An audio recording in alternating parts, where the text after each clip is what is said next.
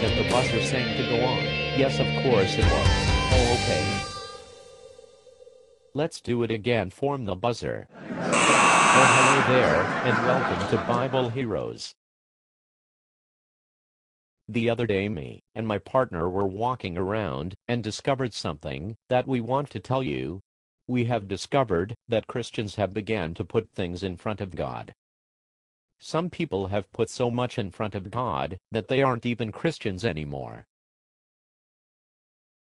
I believe that they have forgotten that God allows them to do everything they do.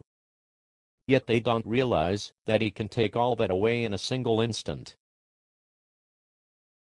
Although He's not. But someday He will. Now we will go to my partner for some more information. In our everyday life we make choices either good or bad ones. But we are not the only ones to make choices. Don't you think God has to make choices?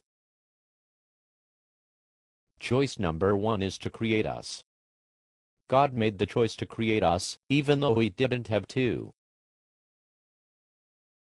Choice number two is to flood the earth. Choice number three is to promise to never destroy the earth in that way again. Choice number four is to give humans free will and a second chance. So as you can see God makes choices, but you have to make the choice to follow Him. The choice is yours. That's all we have to say today cause I think I hear the church bell ringing well.